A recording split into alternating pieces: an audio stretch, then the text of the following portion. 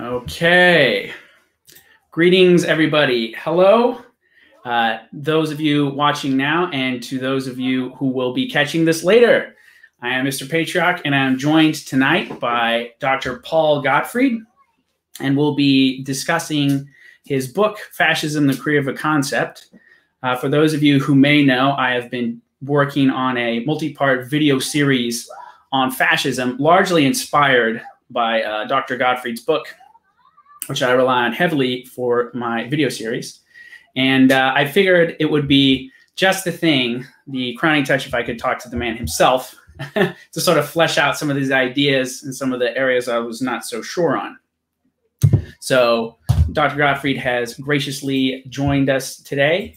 Um, if you are new, please uh, subscribe to Mr. Patriarch, this channel that you're watching this on.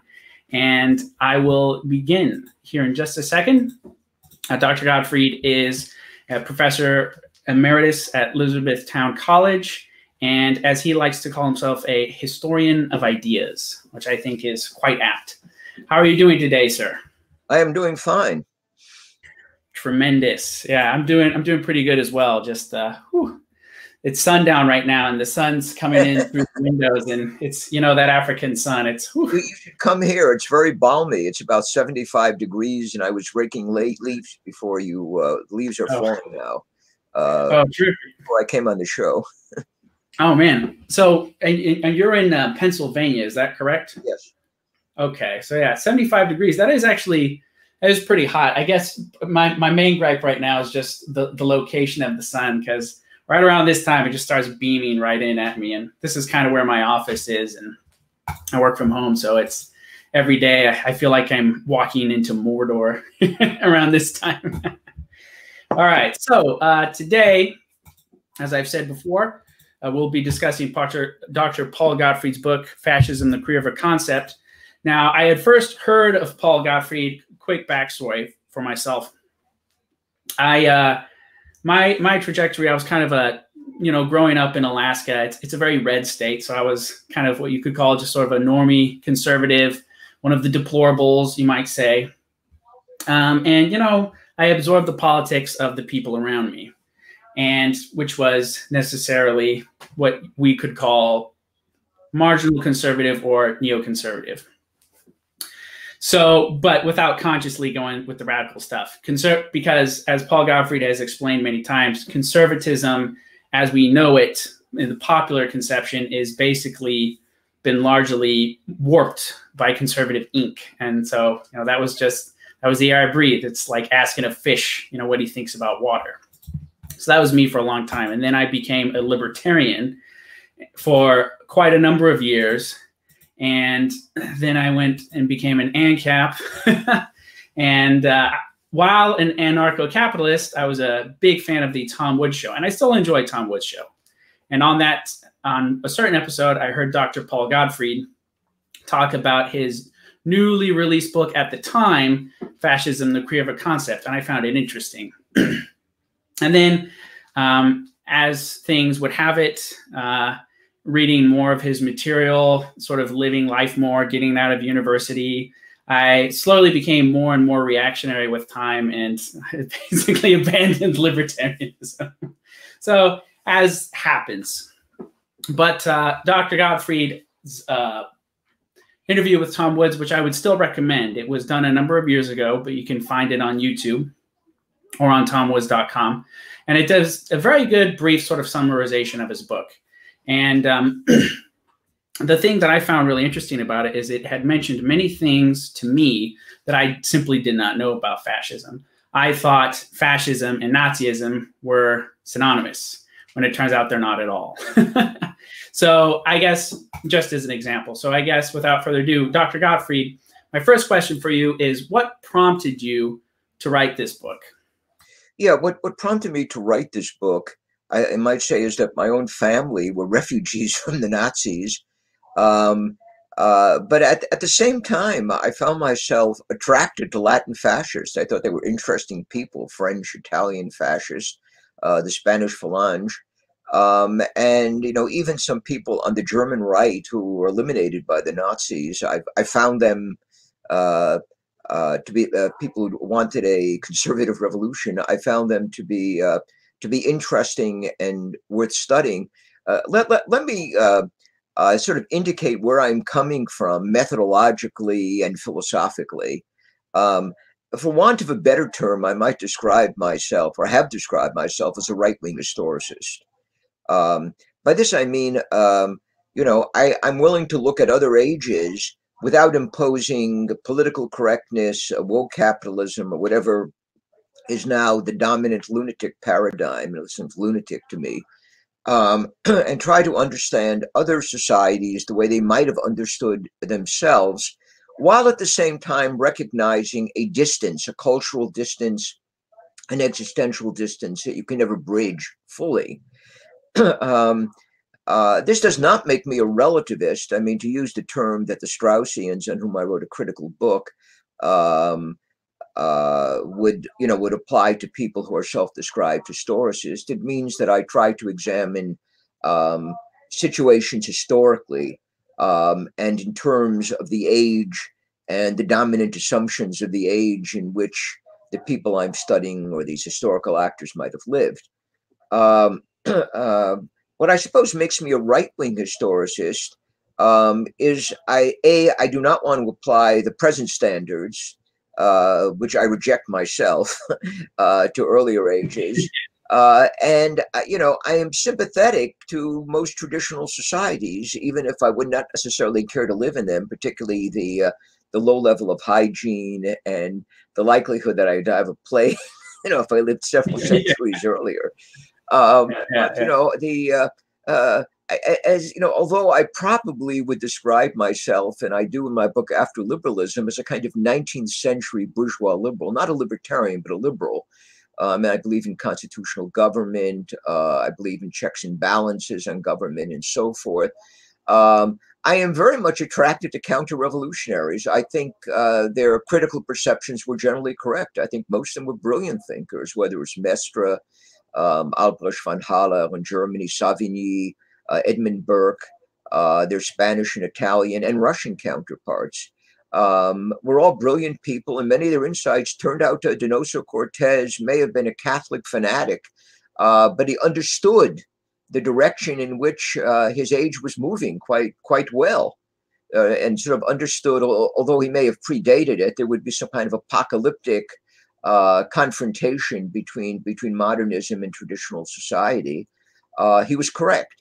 Uh, so uh, I suppose this makes me right wing. The, the, the, fact that I have uh, what Germans would call Einfühlungsvermögen, a kind of you know willingness to look inside these societies, and my sympathies are generally with the right. Um, uh, although you know I, I'm quite willing to look at other uh, other um, historical experiences in their own terms, and anybody who reads me knows I'm not particularly anti-Marxist. Um, I, have known Marx. I'm very sympathetic to some of these people uh, intellectually. I think they were brilliant thinkers like Karl Kautsky and um, other Marxists at the beginning of the century. Uh, on the other hand, I have utter contempt for the contemporary LGBT woke uh, left. I think they're they're they're vicious, totalitarian, and thoroughly anti-intellectual. Um, so uh, you know, I, I, I suppose I'm all over the place. Um, uh, I'm not a libertarian at all philosophically, though. Um, you know, I generally agree with libertarians about uh, bringing down the managerial state. Uh, I, I, have no problems with their call to destroy the present order, uh, if that were possible. Uh, I became interested in, in in in fascism, particularly early fascism, um, and the people who influenced it. Uh, again, because I thought that they were sort of intellectually provocative uh, they said very they said very interesting things, um, and they were the they were the losers historically. Um, my my late friend John Lukács said, you know, Mussolini was brilliant, Lenin was stupid because uh, you know nationalism is much uh, nationalism will always uh, trump uh, internationalism or socialism. Things really haven't worked out that way. Um, I think I think the globalists are on top. Um, uh, and you know, I'm not I'm not quite sure that nationalism works outside of small countries with relatively homogeneous populations.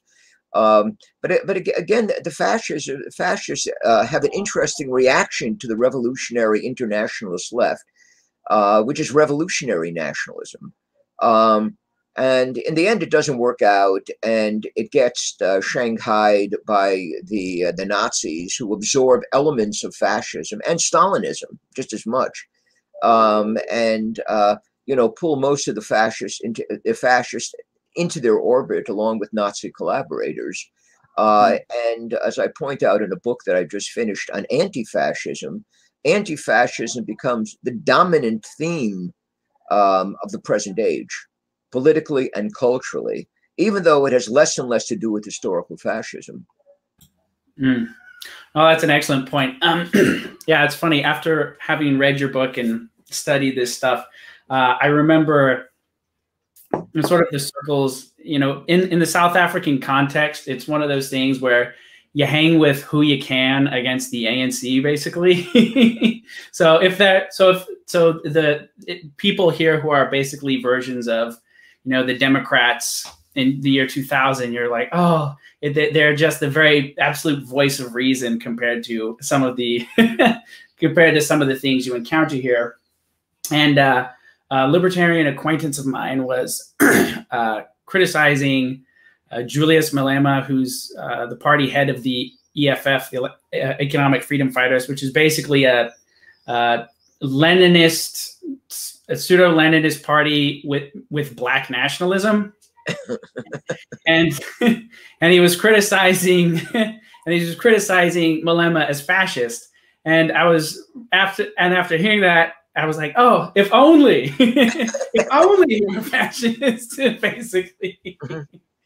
Yeah, and I was sort of inspired by, uh, again, having having read read up on some of this stuff. Um, so I guess sort of the natural question that a lot of people have uh, is, in what ways is fascism distinct from other authoritarian regimes?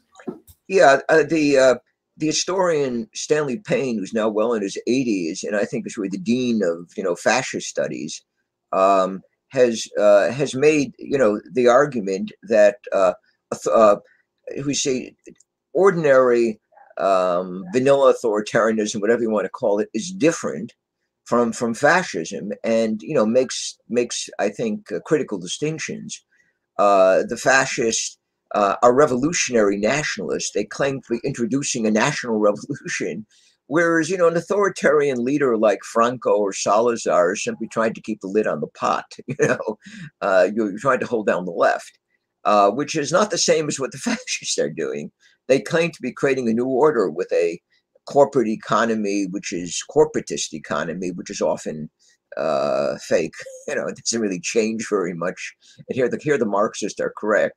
Um, but you know, it appeals to national symbols, national antiquities, and so forth.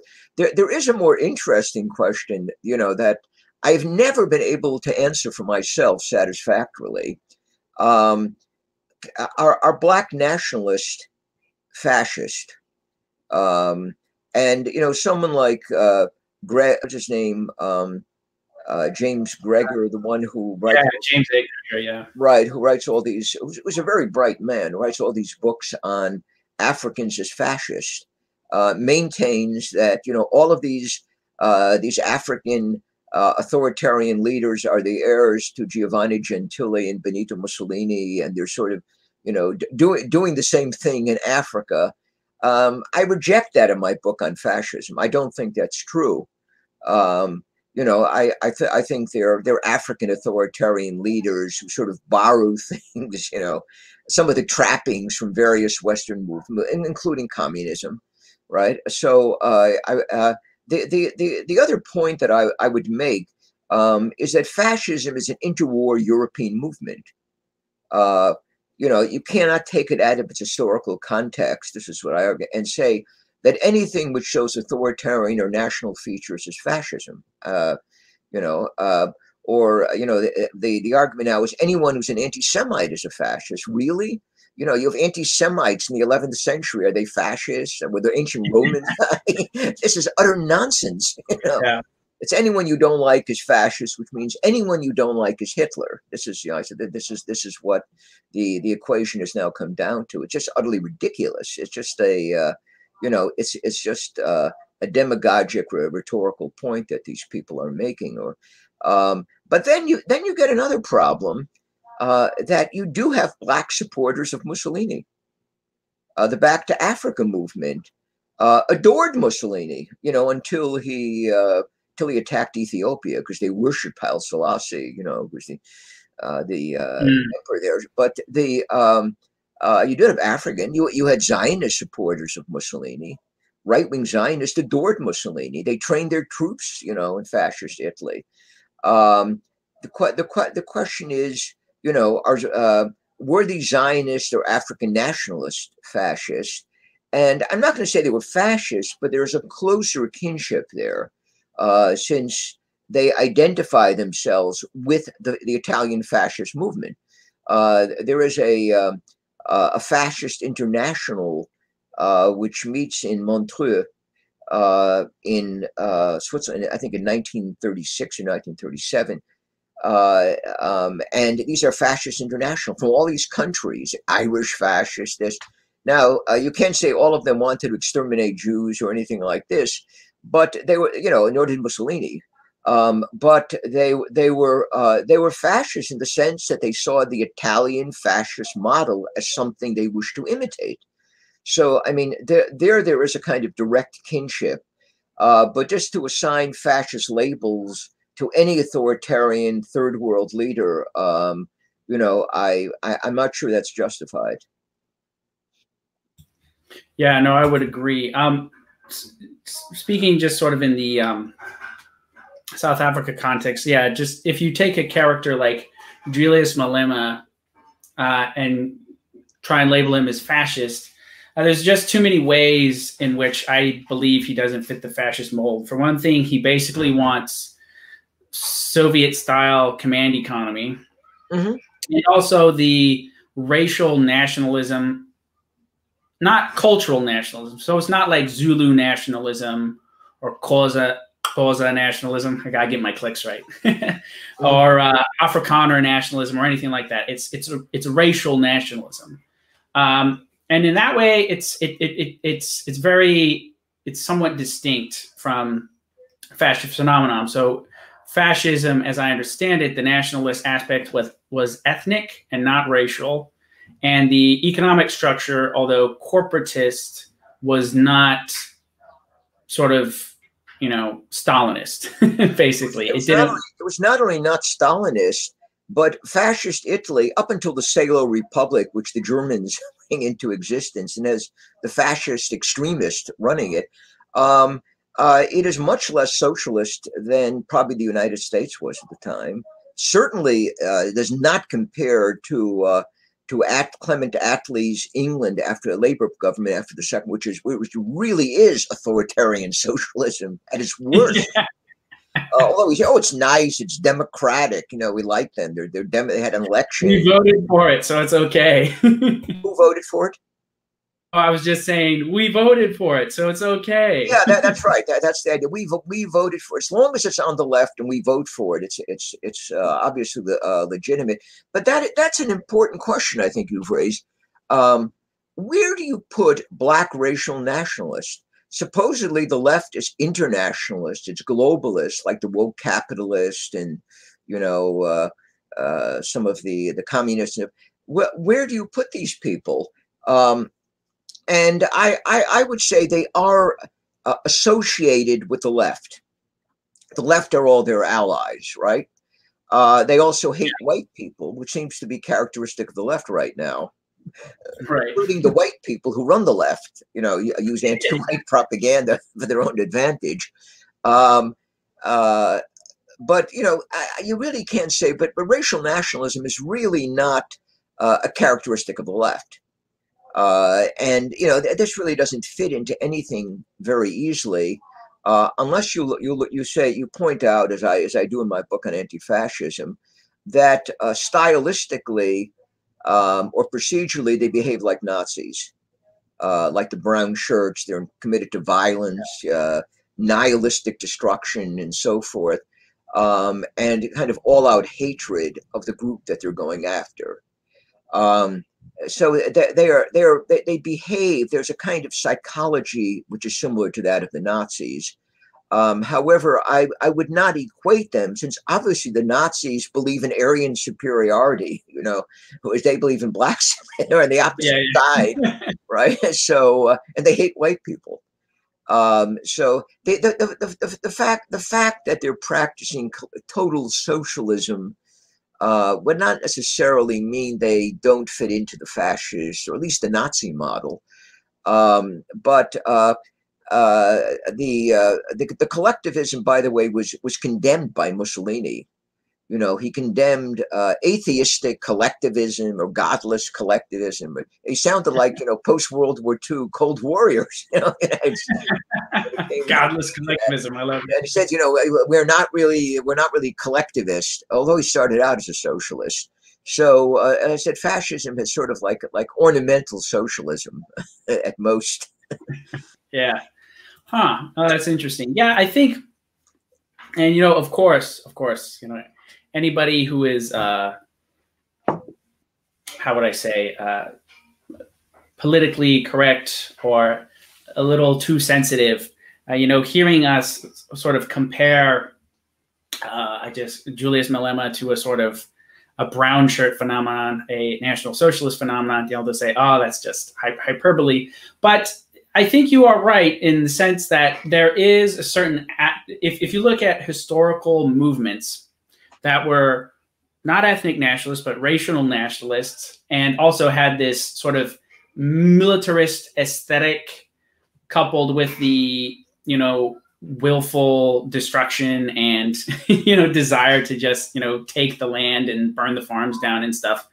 Um, that you, you really don't see that sort of phenomenon in uh, Italian fascism at all. Um, and also, even though it's Marxist uh, in terms of its economics, the racial angle and the racial nationalism part of it uh, doesn't really fit well within the left either. So it's kind of its own thing in the same way that I would say kind of national socialism is. Uh-huh and I guess that sort of brings me to I, I, was thinking about asking this a little bit later, but we'll we'll, we'll do it now, I guess.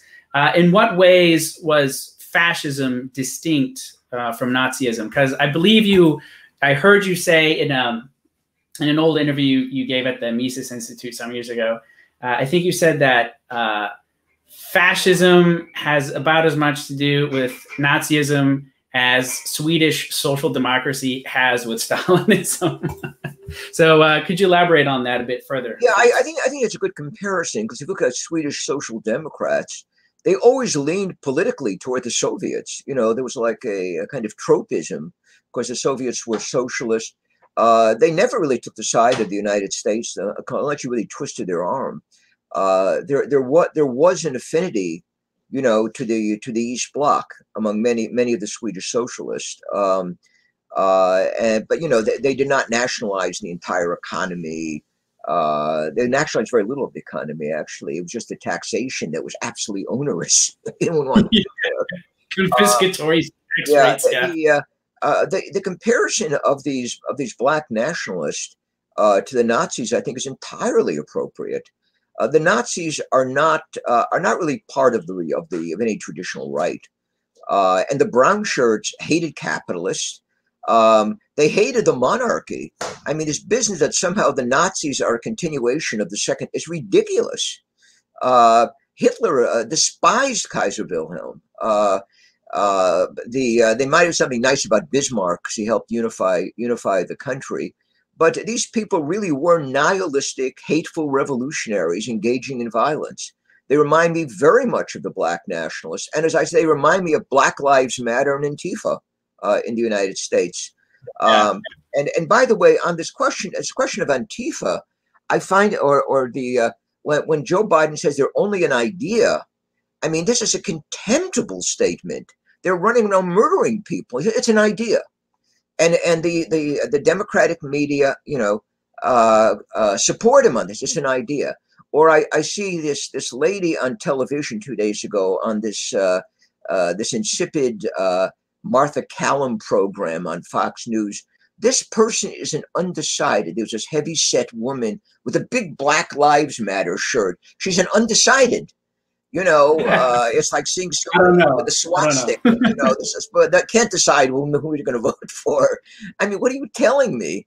Uh, no, I think these. I think if, if we had a serious conservative movement in this country, rather than people triangulating with the left, kissing up to uh, uh, their counterparts uh, on the center left, and uh, kicking out everybody to the right of themselves. If you had a serious conservative movement, they would be attacking Black Lives Matter and Antifa, you know, as Nazi lookalikes, which was what I think they are. They are very destructive, they're murderous, and they're full of hatred.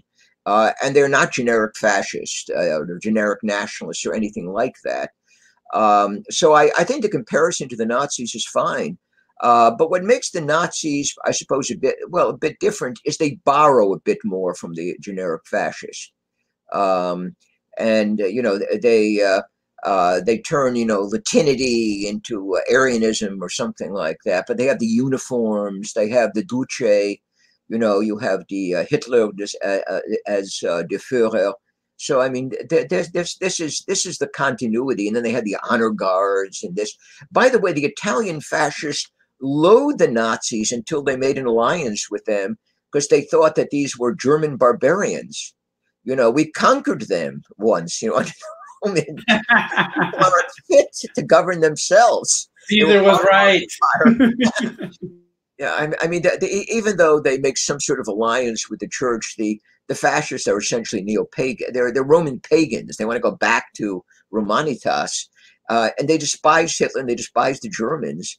And this becomes a problem even when the, uh, I'm reading this biography of Ribbentrop, and they're trying to make an alliance. And he says, you know, they hate us. The, the, the fascists hate us. They consider us to be inferior or something. this is like in 1938. They're still saying this. Wow, that's hilarious. And you know, and it's it's little things like these, which, and unfortunately for me, like I was, I grew up in a you know conservative kind of evangelical Christian household, and I was homeschooled, so I sort of missed a lot of the you know the kind of stuff that you'd get in public uh, schooling as far as mm-hmm. uh, ed- as as far as, as far as history goes. But um, even I was kind of it was just I, I didn't even know to look just the the level of uh, animus between the Italian fascists and the German National Socialists was real until you know of course for uh, we could you could speculate maybe maybe Mussolini was scared that he'd get the Dollfuss treatment, or or you know maybe he saw it as an opportunity. He's like, all right, they're going to be on top. We might as well be on the winning side. But uh, initially, yeah, there was definitely bad blood. Uh, I have a question here from uh, viewer. It says, "But didn't Hitler hate Wilhelm because he abdicated?" Is that true? That that is um, that is correct. I, th- I don't know if this person has read my work, but I, I think there is um, uh, there there there is a long uh, history throughout at least through the Weimar Republic um, of German nationalists uh, and even some of the socialists and the Democrats um, rejecting Kaiser Wilhelm because he abdicated.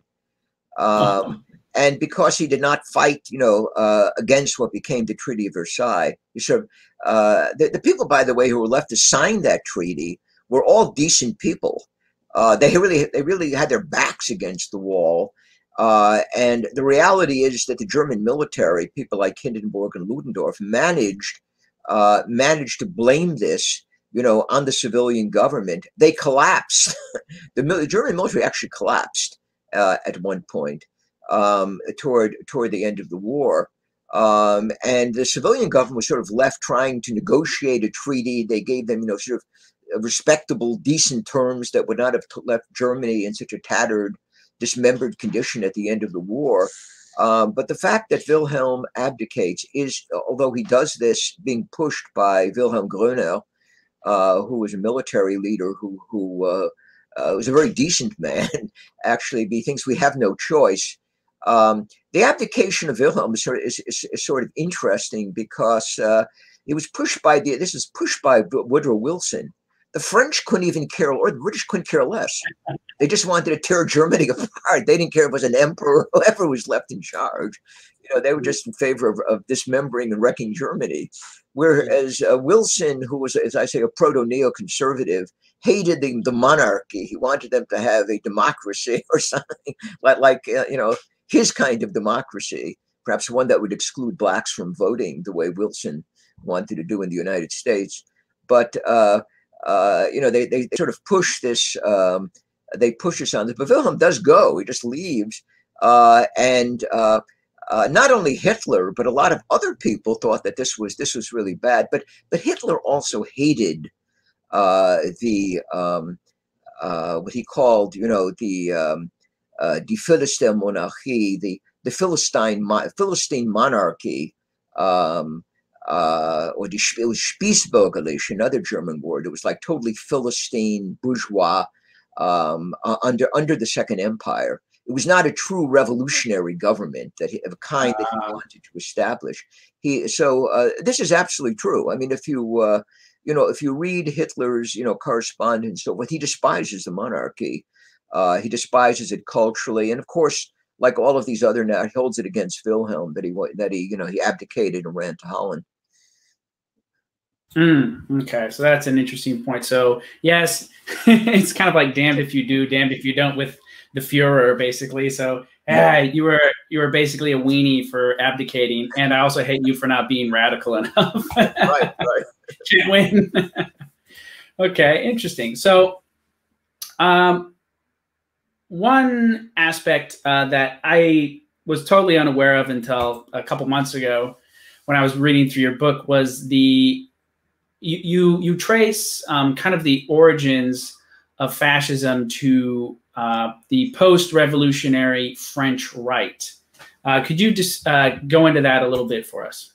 Yeah, there is a large scholarship produced by a francophone Israeli scholar, uh, Zev Sternhell, who, by the way, is is a brilliant scholar, research scholar, but it is a uh, but it's a totalitarian anti-fascist maniac.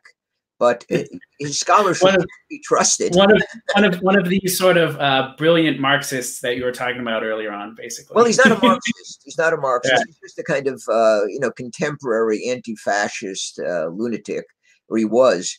Uh, but he's a brilliant scholar and th- there's nothing questionable about his scholarship that I can find. And in some of his uh, his works on what is it, uh, uh, ni droite ni gauche, neither right nor left, and uh, uh, the uh, the revolution, uh, the nationalisme révolutionnaire, or something. He's he is very very uh, uh, uh, very thorough in the way he shows. Um, uh, the way he shows the um, the development of fascism um, at a French and a but mostly French ideas that develop in the Third Republic.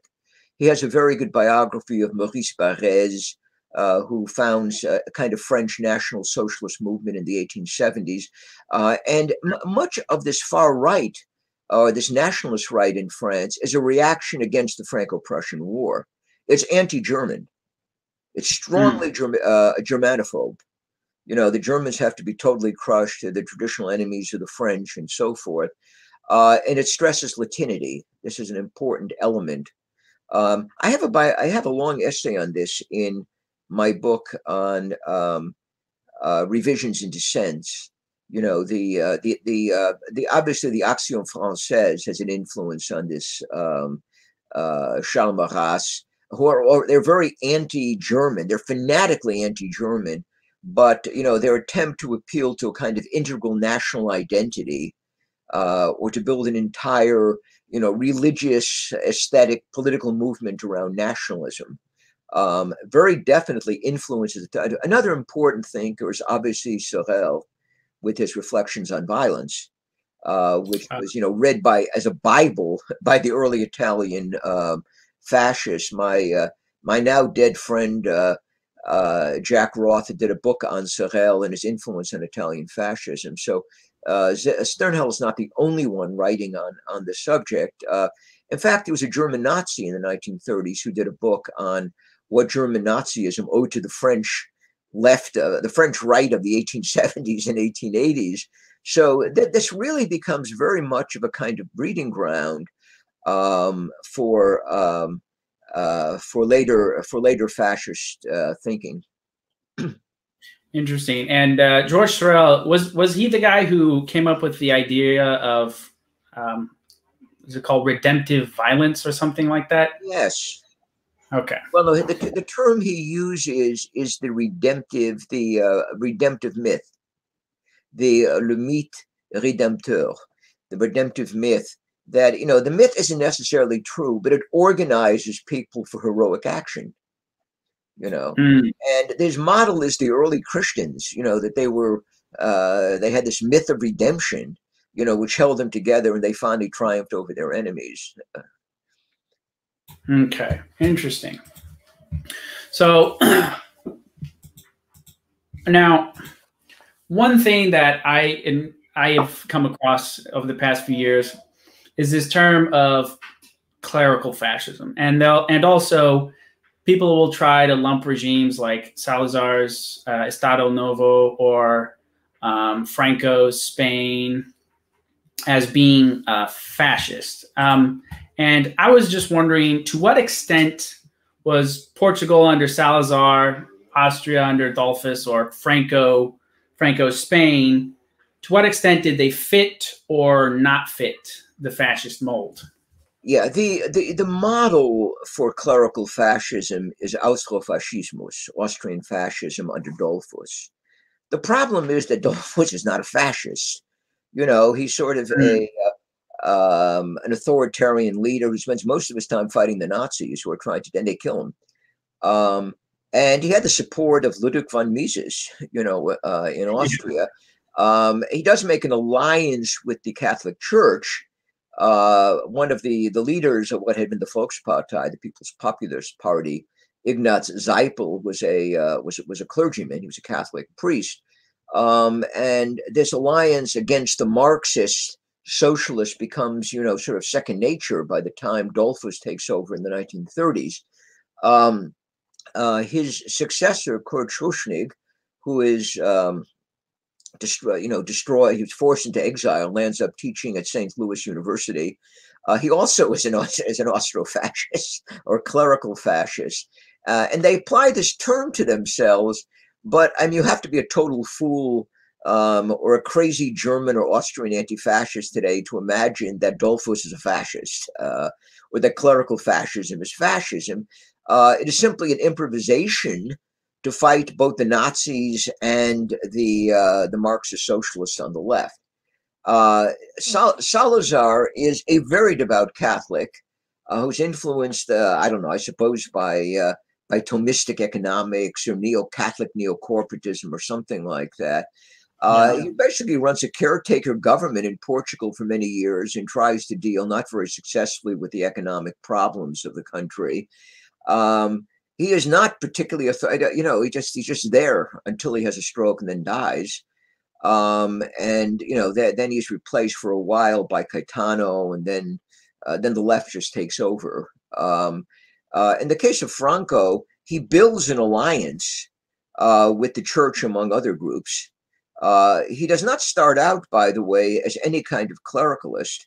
Um, he takes an oath to support the lay republic uh, in Spain um, but then once the left starts running around murdering priests and burning down churches, uh, this becomes a perfect, you know, okay, the church becomes a perfect ally, and he stays with them, um, and uh, becomes very much of a clericalist uh, for many years. For instance, uh, although he allows Jews to worship in uh, Spain because they're somehow seen as, as even though they're kicked out, they're seen as Spanish. He does not allow Protestants to establish a church because they are a Catholic heresy. really? really? I did not know that. Yeah. Although, oh, my, friend, my allowed, friend Scott would love it. Yeah, he allowed American Protestants to worship in their embassy or something like that. How devout a Catholic he is, I don't know. But he does play oh the card uh, for many years. Then he finally gives up on this in the 60s and then or the 70s i don't know uh, i don't know my my uh, my one time mentor and friend will herberg had been in spain and uh, I, I, don't. This this must have been like the 1970s, and he said that you know Protestants were still for, forced to worship in people's houses. They couldn't have public churches. So this was in the 1970s under Franco. wow, that's really interesting. uh, just this this comment: Protestants disavowed. yeah, I guess. All right, that's funny. Okay, so um, now. I'm just, I'm, just, I'm still laughing at that. I mean, who sounds like yeah, no, it's, it's hilarious. I mean, it's basically like the, the Christianity in China today, but but only for Protestants. All right, so um, I guess uh, so.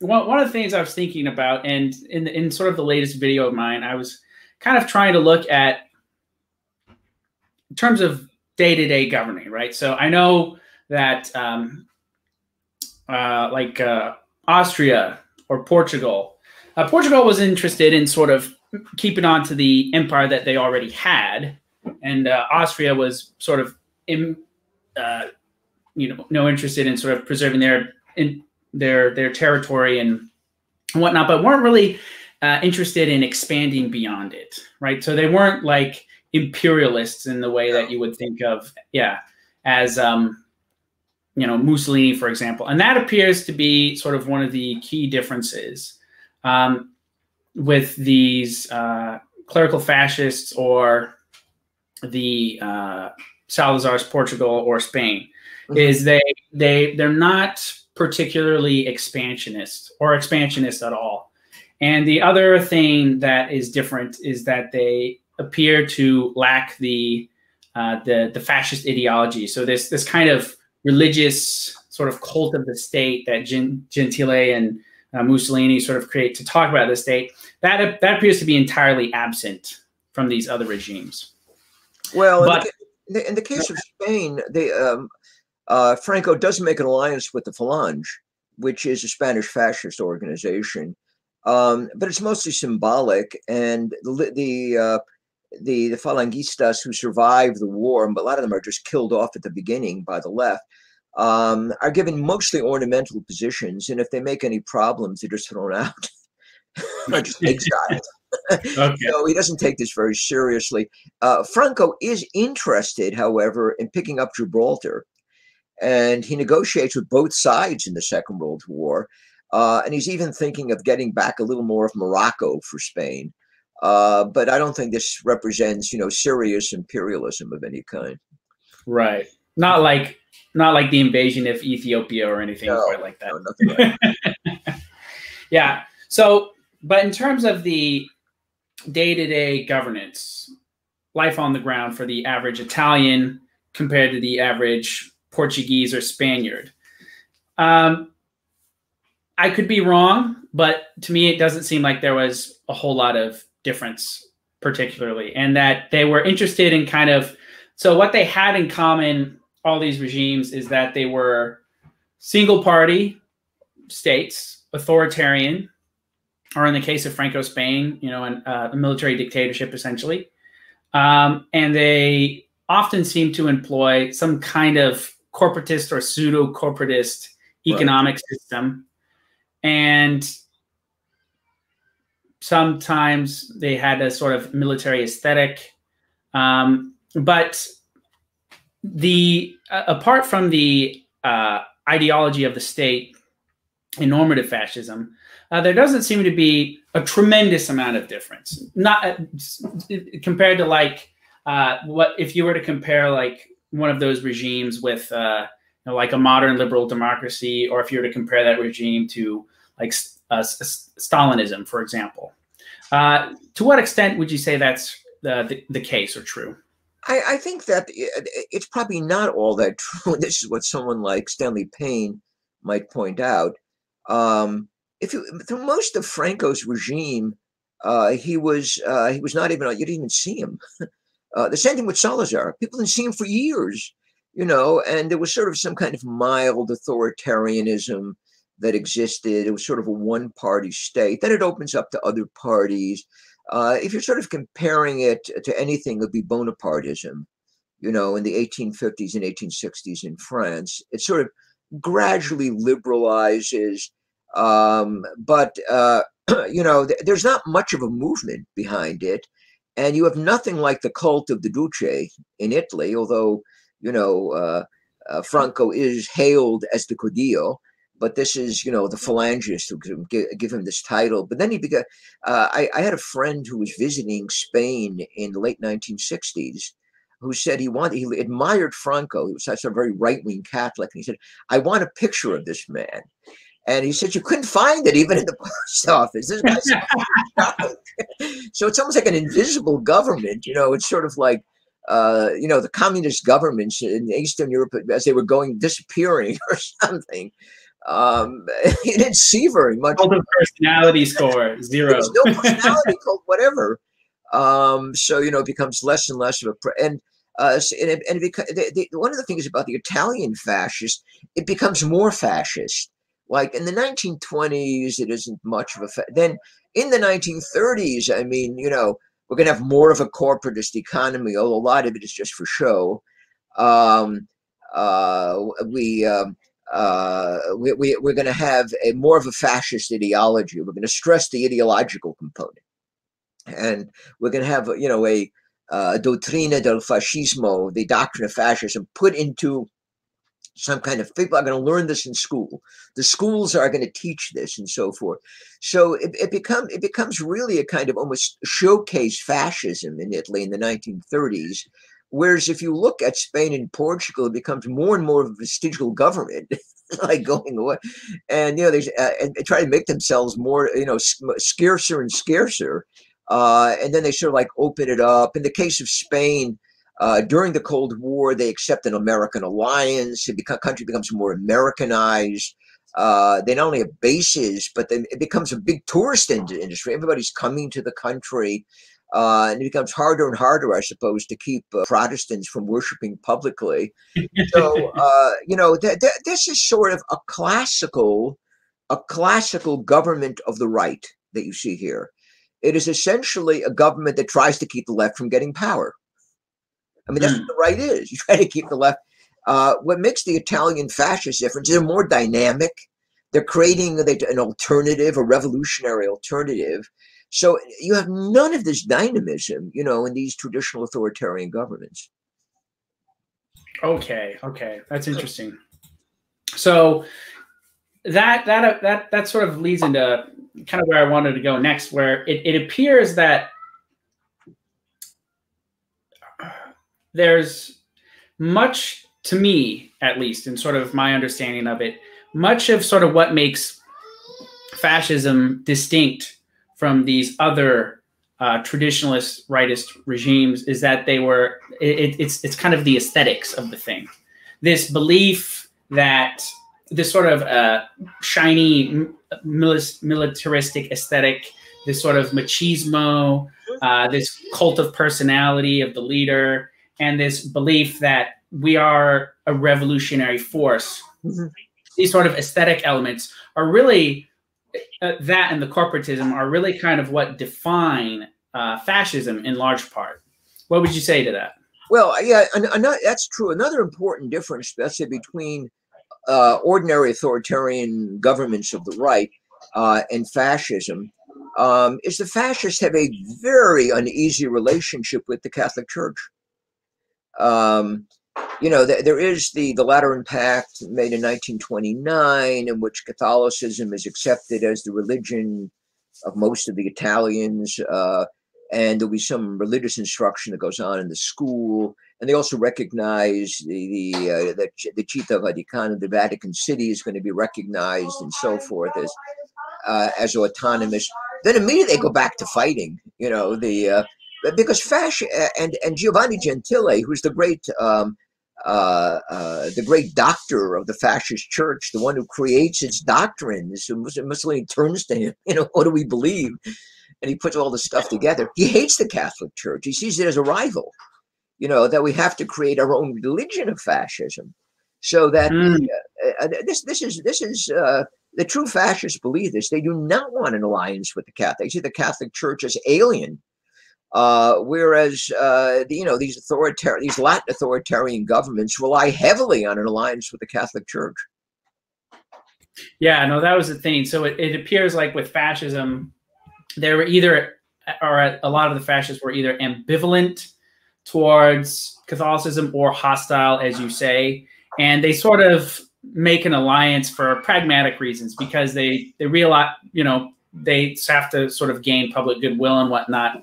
But the higher ups, it appears, were never really particularly happy with that. it's interesting that a lot of the early fascists were Italian Jews, you know, who were certainly anti. They were nationalists. They were anti-clerical. They, the Catholic Church had persecuted them, um, you know, and Mussolini welcomed them, you know, all the way down to the late 30s when he makes an alliance with Hitler and kicks them all out.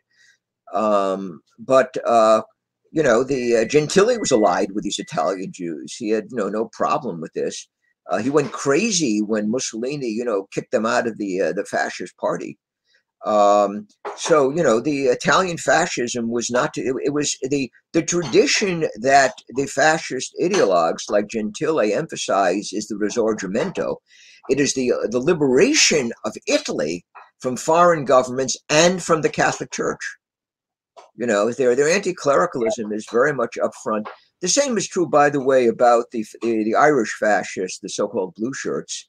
Uh, they do not want any alliance with the Catholic. They're, they're anti-Catholic, um, uh, just like the just like the Freemasons. you know, uh, and of mm-hmm. course the, the Freemasons and the fascists are at war, but they're, they're both they're both essentially anti-clerical. Hmm. So that's interesting. So we're getting into something interesting here. So the the fascism, it's and this this this I this I guess gets to the big question. So I, I have my own answer, but I'd like to hear yours. So is is fascism on the left or the right then? Because the right is traditionally associated. The way I like to think about it, and what I sort of lifted from you is the right is all about hierarchy and accepting inequality as a fact of life and oh, really? oh, the, and the fascists are, in a sense, on board with that. But the right is also associated with typically tradition, with uh, religion, and trying to preserve traditional society. So I guess the big question is, in your estimation, is fascism on the right or on the left politically? Yeah, I, I, that's a difficult question. As you know in the book, I say they're on the right. Uh, whereas the the Nazis, like the party you're dealing with in South Africa, is uh, you know more of a problem where to put them because they have both right, right, and left elements. But the uh, uh what I say, the fascists are uh, almost, we might say, in a kind of postmodern right, uh, or, mm. you know, when the traditional right is already on decline, in decline, it tries to create a new right. It's an artificial right you know, there's a there's a German term, uh, eine Kunstrecht, uh, an artificial right, and this, this is what they're engaged in doing. We, we say we're going to have our own hierarchy. They don't totally reject the hierarchy before. I mean, many Italian aristocrats just become integrated into the fact, and they treat them with respect because they're part of the national history, and they so they're they're not going to get rid of classes. uh, they're just going to, you know, uh, create now, now that the other one is sort of going away and is associated with the pre-nationalist past they're going to create their own national hierarchy. So another thing is that they look for their model to the distant past whereas the left is always creating the future it's rejecting the past right? This is what they're doing in america tearing down statues everything right? Uh, this is why the uh, you know these woke left the left are the purest left i've ever seen. I mean they reject they really are. Right they reject iconoclastic to the extreme I mean, the, the, communists look like you know extreme clerical reactionaries compared. These are the most extreme yeah. left and they've been absorbed by both political parties and they're absorbed by all the parties in western europe They sort of try to try to accommodate them. Um, but you know the fascists adore the past right? I mean they they love those uh, uh the caesar the empire uh, Romanitas, our Latin heritage, and they even, you know, try to integrate the Catholic Church because it is Italian and because it is Roman, not because they really like what they're doing particularly, but they have hmm. this. They're associated with Latin antiquity, uh, whereas those Germans over there are barbarians. You know, they don't or Slavs. Who cares about them? But the other Latin people are good, like the Spaniards are fine because they're they're they're Latin, and we once ruled over them, right? They were they were you know they were Gauls or something back then. Yeah. Uh, Carthaginians came in, but we conquered the Carthaginians.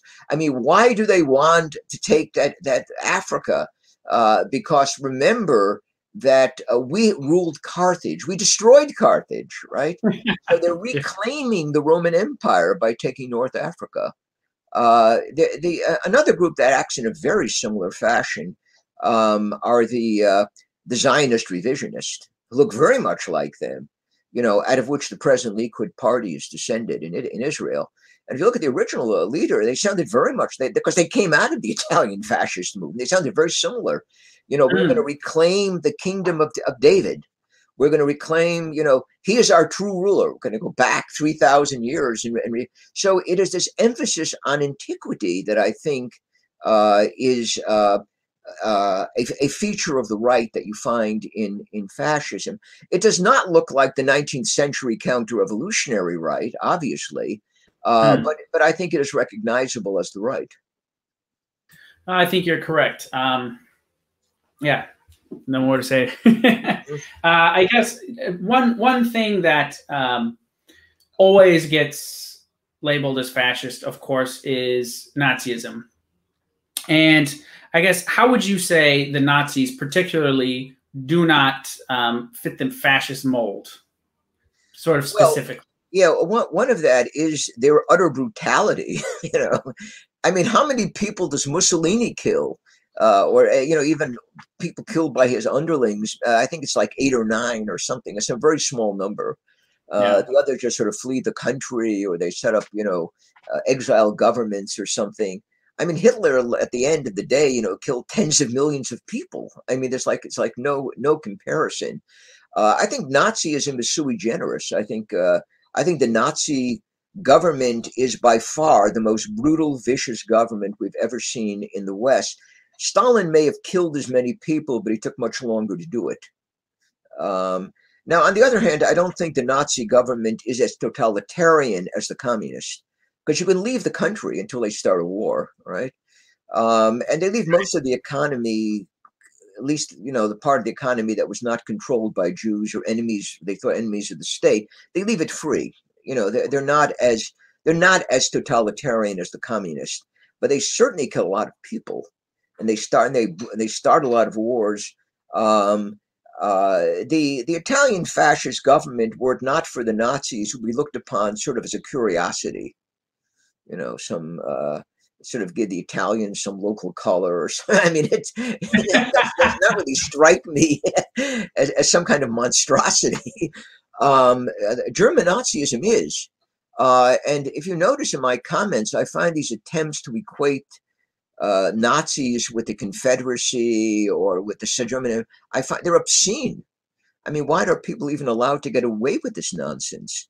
Um, and the people who are doing it um, are, I think, understating the evils of the Nazi government.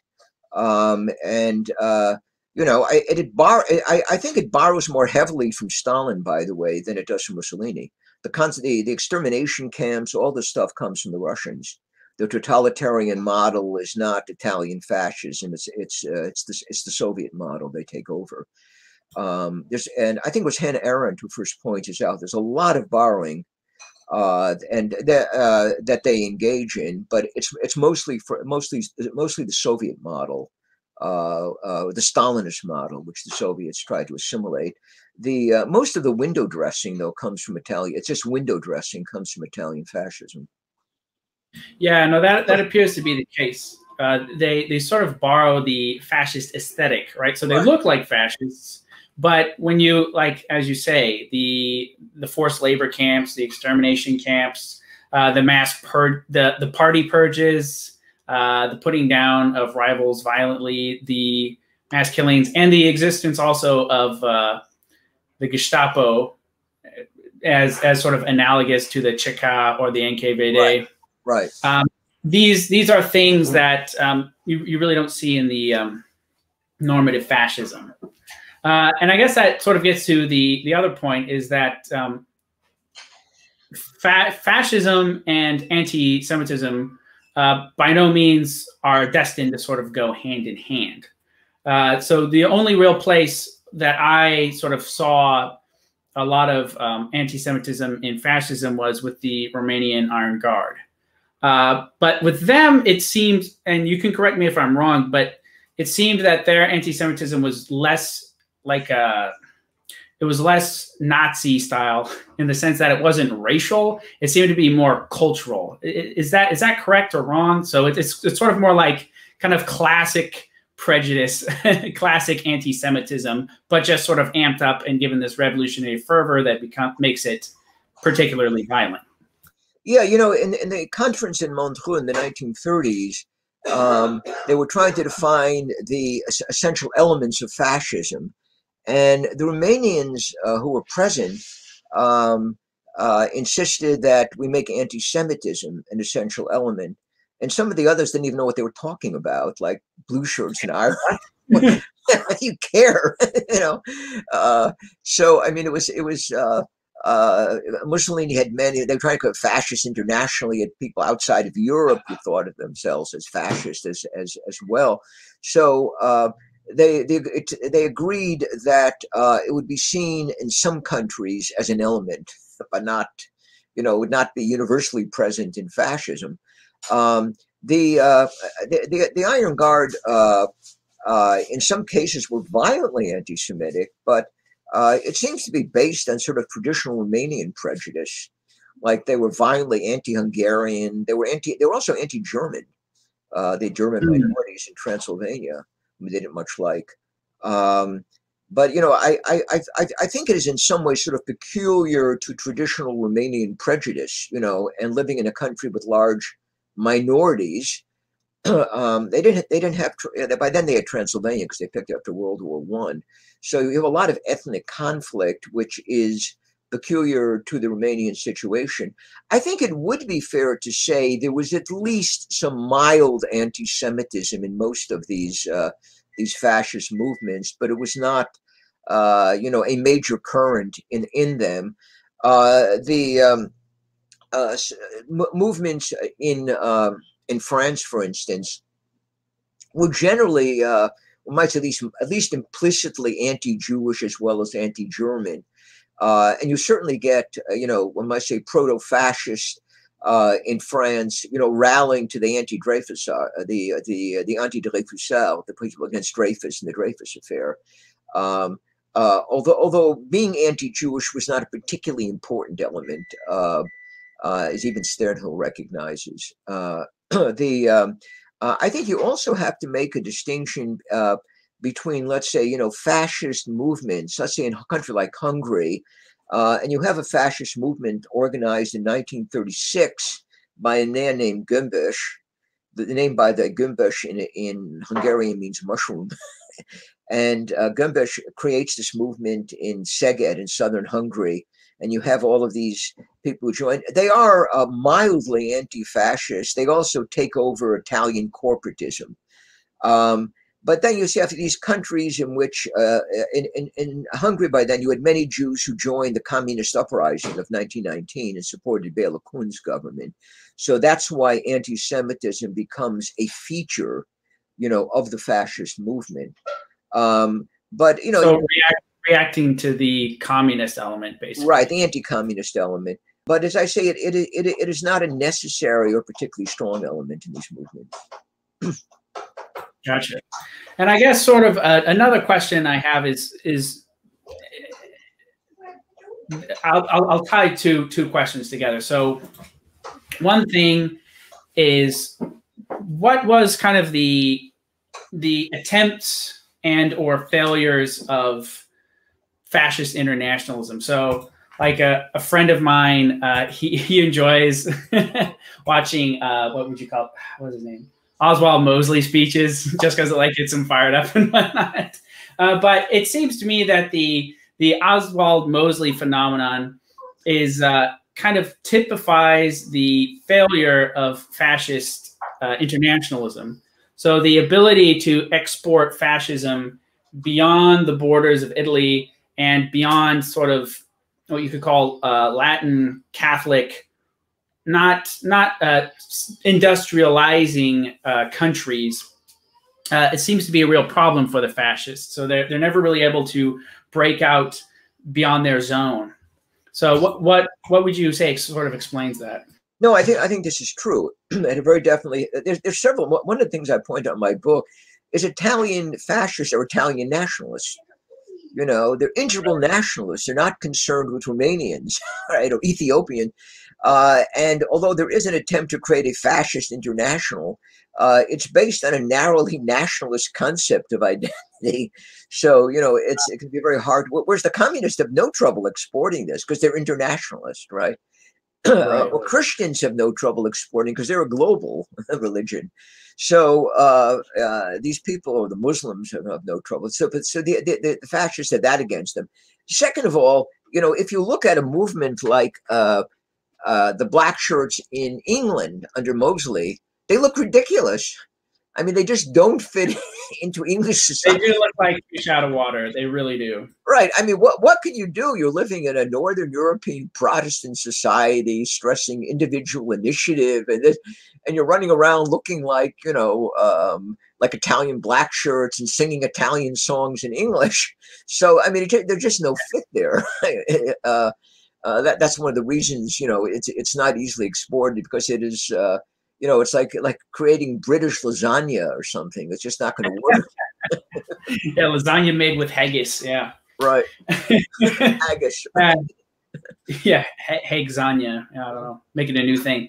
So I guess this sort of ties into sort of kind of my my final question before we get to. Um, I guess we'll we'll quickly go through the audience questions. I don't want to keep you too long, but um, to so the failure of exporting fascism internationally fundamentally is that it is a nationalist movement. And to try and make nationalism international is kind of an oxymoron. Mm-hmm. Yes. And so, one of the things that we uh, see a lot today, and uh, particularly in the news with Antifa, right, anti fascists, is it always seems like if you ask anybody who's slightly left of center, fascism's just around the corner. Mm-hmm. And we are just we are we are a, a hair's breadth away from uh, basically being carted off to Auschwitz for uh, wrong think by uh, by a jackbooted uh, orange dictator in his 70s who took over the government of the United States, essentially. Uh, so, to what extent do you see fascism today, if at all, and uh, would you argue that in present times uh, is anti-fascism a more dangerous phenomenon? I think anti-fascism is a very, I think it's the most dangerous phenomenon that, you know, that faces free constitutional governments and free, whatever's left of free societies anywhere in the Western world. I think it's terrifying. I do not see any fascist danger in the West. as I point out in my book. I do see populist movements, but in Western Europe, I don't think they'll ever take power, and they're certainly not fascist. They're they're democratic. I mean, they're the national democratic parties that are hmm. resisting mm. globalist elites. Um, I think anti, uh, anti-fascism is as great a danger uh, as any totalitarian threat that Western society has faced. Mm.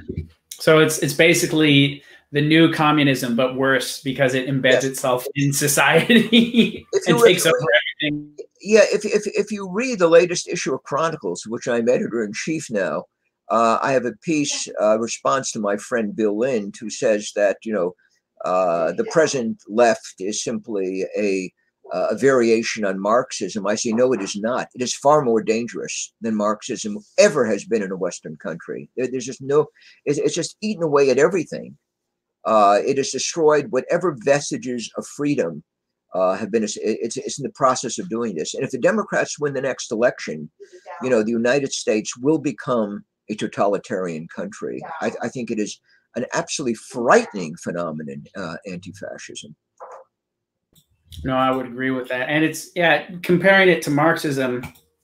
If you compare sort of places uh, in the West that were subject to you could call it um, what was that? Sort of the i think sort of the the prime example of this would be denazification. So it seemed and this might be conspiratorial of me but it seems like the frankfurt school employed this denazification uh, process in Germany, and then a bunch of people who had possibly nefarious uh, uh, purposes saw how effective it was, and they began basically exporting that model to the rest of the Western world. So you sort of demoralize society. You teach them that their history's bad and so forth, and they they're they're horrible white males and they have nothing to be proud of and should you know just open open their homes to you know the huddled masses of the third world. Um, it's so that phenomenon seems to be very present in the West, and it seems to have been started shortly after uh, the Second World War, and after the fall of communism, uh, it really they just sort of hit the gas on it and you know dialed it up to eleven. Uh, if you compare sort of countries in the West who have experienced that longest to countries which were uh, under communist proper like Marxist control, the ones in Eastern Europe, uh, those countries tend to be a lot more socially conservative and whatnot and it might be a conjunction of uh, you know Orthodox Christianity might have something to do with it. The, also, the sort of um, being sort of a peripheral border territory with the Middle East and sort of the ten historical tensions that went on there that might have something to do with it. But it, there can be no doubt that the uh, Marxist, uh, the actual communist influence on the long run for those societies has been potentially less damaging than sort of what we're undergoing right now. Are you asking me that as a question? Because I agree with everything you've just said. Okay. so, yeah, there we go. There we go. but uh, yeah, because I, I, remember when I was in, um, this was in 2015, and uh, I, was, I, was, vacationing and I wanted to go to Eastern Europe, and I went to uh, Prague. And I was just walking through Prague, you know, just sort of you know, head, head in the clouds going through. I see this like mass protest. And then I see thousands and thousands and thousands of Czechs just like marching through the streets, holding up like anti-EU signs, and they have like a star and crescent with like the like an X on it. And I'm like, and then you know, I don't speak any Czech, but I was I very quickly got I'm like, oh, this is anti this is anti-EU, this is anti-immigration, this is anti-Islam. And if you had anything sort of like this with these sorts of numbers in the United States, it would be like a national travesty and a sure sign that fascism has returned to, to the United States. So yeah, it's just really interesting seeing how, in a certain way, they're kind of like frozen in time uh, to a certain extent, and the norms and mores that they have seem quite at home to what the U.S. was like 30 or 40 years ago. Well, in a, ca- a case of a country like Hungary, I think it's even more interesting because they're sort of like almost frozen. They were like frozen in an interwar condition. uh, if you look at Orban's government, now he does not say he's a supporter of the authoritarian leader uh, Miklos Horthy, uh, who ruled was the, the Hungarian admiral who took over in the interwar period, sort of authoritarian leader. Um, but you know, Horthy has been revived as a national figure. Uh, interestingly enough, both Horthy and Orban are Protestants uh, in a predominant. Catholic. Well, I, think uh, Protestantism is the national religion in Hungary, the Reformed Church. Uh, it's, a, it's, a, national religion, although most of the people are, are Catholic. Um, and uh, you know, he's always referring to the the glories of the Hungarian past and so forth. Uh, it's as if you know, and he's entirely untouched by. He says we will never have any gay rights. We're a Christian country. We don't believe in any of this. We'll not have these people teaching, and they certainly aren't going to have parades in Budapest. Uh, and then, of course, we have the neoconservatives who I think want to invade Hungary because they have, uh, I don't know, transgendered bathrooms there or things that are essential human rights now. Uh, yeah. but, you know, I, I, find I find it amusing. Obviously, I sympathize with the Hungarians, you know, over the American Global Democrats who want to bring gay liberation and feminism to these countries. Um, but the uh, it, it is interesting how East Germany, uh, you know, is in something like almost frozen, you know, in a, in a time warp. Many of these people, and even the members of the Communist Party, were much more conservative than these West Germans who hate their country, who think you know that they have to erase everything, open the borders, uh, have you know wall to wall gay rights, and this.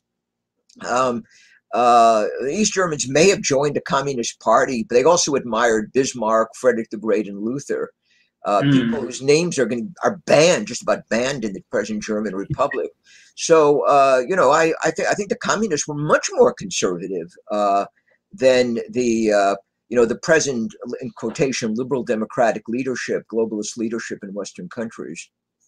Yeah, no, I would agree. And uh, just as sort of a for, for for the listeners, this is a this is an anecdote, but I think it highlights the the the point quite well everyone will say, "Oh, these Marxists and whatnot with their LGBT stuff and transgender bathrooms and so on and so forth." It's this is, this is a Marxist problem, but um, I, I I always like to point out that I believe it was in it was sometime in the 2000s, but the Russian Communist Party actually put forward a bill trying to ban uh, uh, basically criminalize uh, homosexuality. And their reasoning for it was that it was a sign of bourgeois decadence. no, exactly. I've written on this. Uh, no, I mean, no, bring these people back. They're great. my conservative perspective. No, the uh, uh, I, one of one of my uh, one of my articles for uh, for Chron- uh, on the on the Chronicles blog. You know, I quote Che Guevara, who's attacking uh, uh, who's attacking homosexuals and feminists and Castro, with all these other people. Uh, this is supposed to be the left. you know, that's, and they say, oh, these are bad people. You know, uh, this is our conservative movement. These are bad people. They're homophobes or something like that. Well, I mean, they sound like conservatives. The conservatives I grew up with, they sound exactly the same. You know. Yeah, yeah, they're not conservatives because they're homophobes. Very right, important. exactly. All right, I guess we'll get to the audience questions now. This has been this has been tremendous. Thank you very much for your time, Dr. Gottfried. All right, so uh, audience questions that I took down. So, as you know, um, I'm in South Africa, and this this question this is kind of related to sort of what we're talking about at the end. And um, one of my friends who's a South African, he asked me he asked me to ask you uh, how do we forge a stable order in a multicultural world that both rejects seg forced segregation and forced integration? So basically, it's like we don't want apartheid. Apartheid's bad, but we don't want the sort of crazy multiculturalism that we have now. And, and sort of how do you create and foster that in the modern age? There's only one solution having confederations. Um, uh, regional autonomy. There's no other way to go. Um, uh, otherwise, you're simply going to have the globalist elites allied to the cultural radicals destroying everybody else. Uh, and the only way you save yourself from this is, you know, allowing people to secede and to form their own, you know, separate societies. Uh, by the way, I, I am not a supporter of some of the, you know, the Abbeville Institute. Secessionism is always great and so forth. Um, you know, I'm really of two minds about the Civil War. I mean, I can understand the nationalist and I can understand the, the Southern position. Um, and, you know, in, in the past, I think, you know, nation states were fine. I admire George Washington, Otto, Otto von Bismarck. Uh, I find much to admire even about Cromwell. Uh, you know, I, uh, I uh, think that in its time, the nation state was marvelous. Uh, but we no longer have nation states of that kind. Well, we have our globalist elites, uh, managerial dictatorships, political correctness, uh, and you know traditional Christians don't want to live in that, in that kind of society, and other traditional groups. Uh, I think, and you know, if you can do it regionally, if they have their own, you know, territorial uh, secession, or that is the only way it's going to work. Um, I, am afraid otherwise the good people will be destroyed uh, because the you know the the globalist elites have too much power the populists are not going to win in the end. and uh, you know the uh, uh, the the uh, uh, PC left and, and the their woke capitalist allies and the managerial state are going to have numbers on their side, and they're going to win in so-called democratic elections, even if they're not rigged, which they may be in the United States if the Democrats win. So the only solution I see is territorial autonomy. mm. Yeah, no, that's a good point. And where I am right now, um, it's still kind of, it used to be not talked about at all, but it's gaining steam now. And there's an effort to uh, get Cape independence, basically, for the Western Cape. Mm -hmm. And um, for all sorts of reasons. Basically, the the Cape has been colonized by one group or another for basically the whole time, and although so it's it's never really had a government that it kind of wanted. Essentially, it's just been sort of hod, hodgepodge like lumped into the rest of South Africa. And yeah, I think you're right. I think sort of pushing for regionalism is about the only way only way to go. So uh, here's another question. It says, in your book After Liberalism, you highlight the rise of the managerial state after the fall of authoritarian fascism and totalitarian communism. What opportunities, I can tell this is written by a libertarian, what opportunities do you see for a classically liberal recovery from this, if any? I see no chance of recovery. Let me be, let me be, be clear about that. But of course, the managerial state develops earlier than after the fall of fascism or you know the, so it, it, it, develops already in the it, it, develops by the early 20th century maybe even earlier uh, and it is a product in many ways of mass democracy, urbanization, industrialization, and so forth. um, I don't see it as, you know, um, the natural outgrowth of 19th century liberal nation states. um, uh, I, I, think it, it, represents a vast expansion of administration, um, which engages in massive social engineering of a kind that would not have been acceptable in a 19th century bourgeois liberal society or a more conservative society of the kind that existed in Central or Eastern Europe.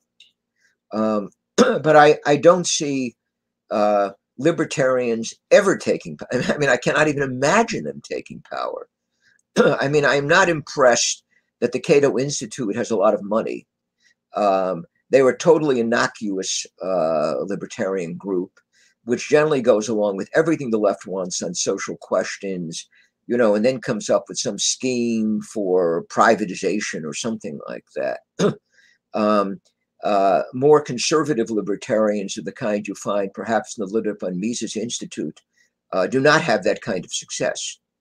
Um, so, but in any case, I don't see libertarians as a group go going going anywhere. Um, uh, the left will only agree with them if they agree with the left on gay rights and transgendered rights and feminism and so forth. If they say, "Gee, let's you know, let's get rid of the government," or "Let's," they're not they're not going to go anywhere. They're no no one's going to listen to them. yeah, no, I think that's a point. So basically, and yeah, that that that's sort of been my thing too. So as I as I sort of mentioned in the beginning, I was I used to be one of these bright-eyed, open you know, ancaps. And then as time went on, you know, I, I, I sort of got back into Christianity and then I had a family. I moved to Africa. I read too much Paul Gottfried, and I'm just like, yeah, the liberal order is over. it can't come back. Basically, it's for the dustbin, unfortunately. But uh, I think you're right. So uh, here's another question: uh, Do you foresee a withdrawal from the so in the current sort of political tensions that we have in society, uh, do you foresee a withdrawal from the margins into two polar opposite groups, being anti-fascism versus sort of anti-Marxism, or sort of a, an anti-left uh, force in the future? Well, I'd like to believe there'd be an anti-left force in the future. my, you know, uh, my worries is we may not have enough numbers for that, and uh, I am very, very critical, as you know, of the conservative movement, not only for marginalizing me and destroying me professionally, um, but also because it does not represent any kind of serious opposition, except maybe at the fringes. You know, people are tolerated. If I read American Greatness website, for which I've been writing, um, uh, you know, they're they're fine. You know, they, some of these people do get onto Fox News and so forth. I like at least some of what Tucker Carlson is saying uh, but he's dependent on these uh, neocon sponsors uh, and sometimes says stupid, dumb, sort of stupid leftist things like America's founded on equality or something like, or nonsense like that. Um, yeah. so, um, but I certainly like his attacks on on the left. I just don't think we have the numbers to make any kind of difference in the end. Uh, the left is much better organized and the left is much um, much more spirited um, and much less timid.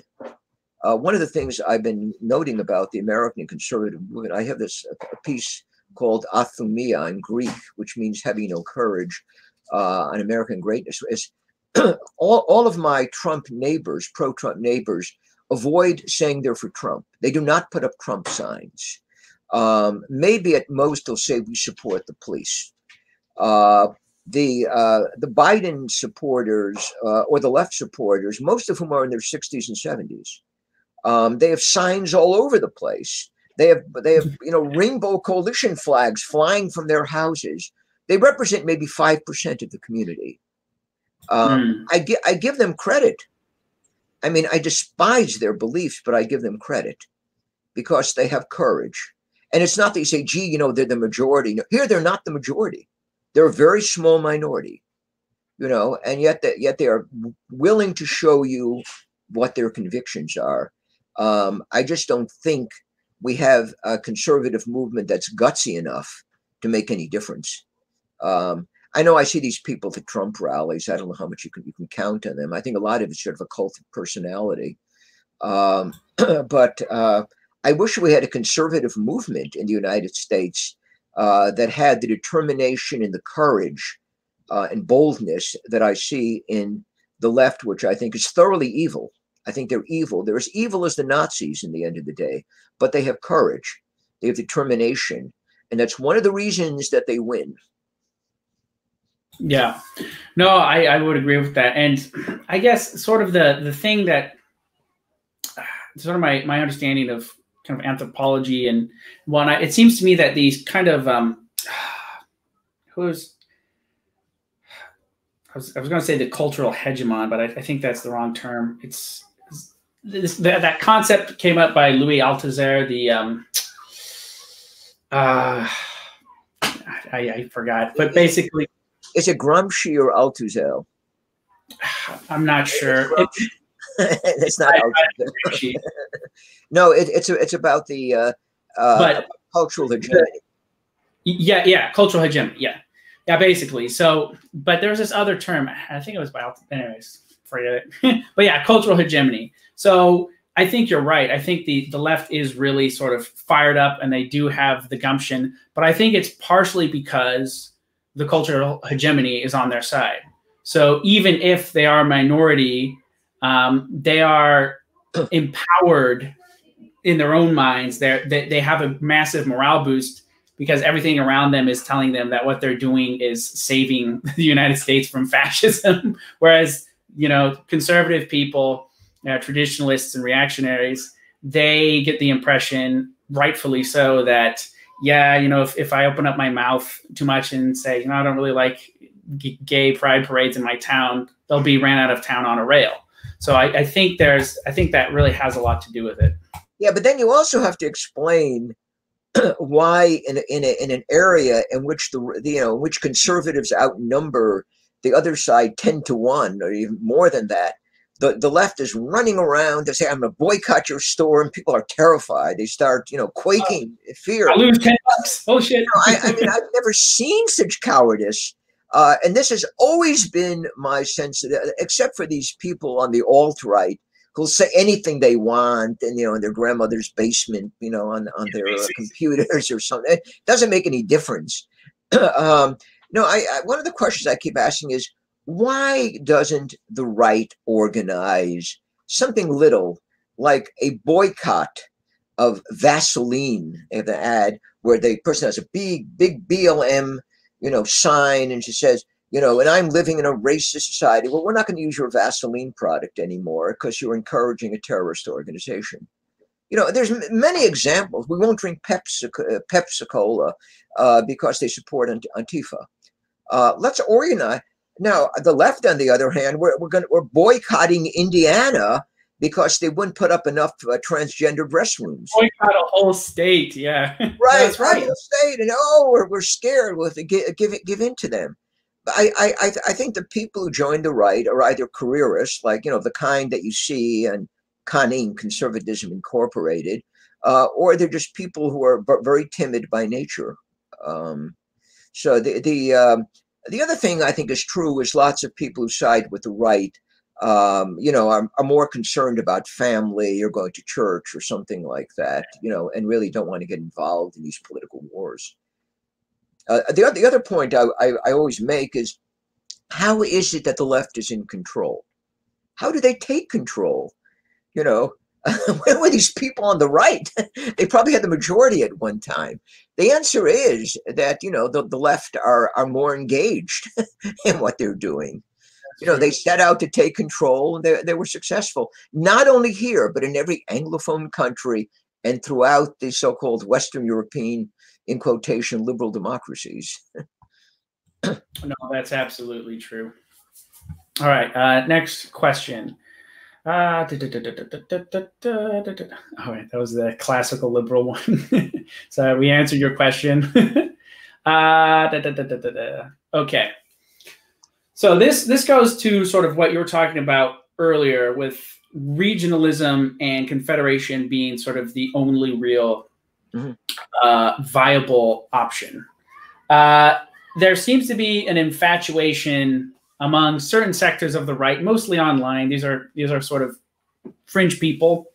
Um, with the there, there, there's an infatuation with fascism in the sense that not necessarily that they necessarily want to mimic the um, the, the, the program necessarily to a T, but there's there's a, a respect for it in that it was kind of a uh, an organized, blatantly authoritarian way of dealing with the left, and they like that basically, and, and I like that too.